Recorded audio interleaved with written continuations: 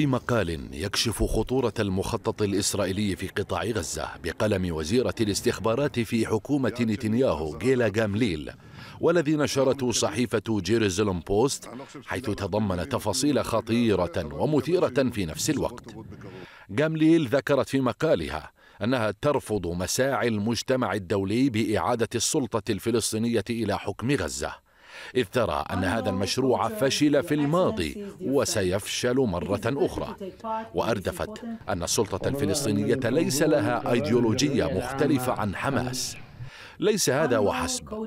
فجامليل ذهبت في مقالها المتطرف إلى أبعد من مجرد القضاء على حماس حيث أكدت أن قطاع غزة أرض خصبة للتطرف ومكانا خال من الأمل ويسيطر عليه زعماء الإبادة الجماعية في إشارة صريحة إلى حماس والجهاد الإسلامي.